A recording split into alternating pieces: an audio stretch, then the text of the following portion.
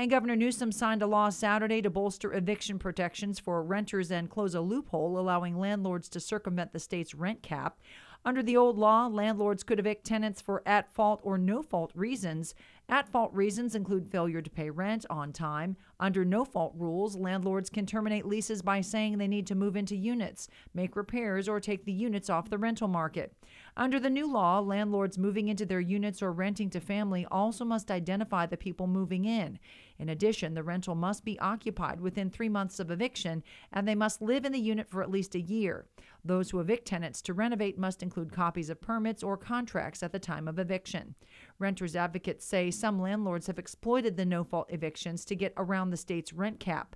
Powerful landlord groups oppose the bill, saying the changes went too far.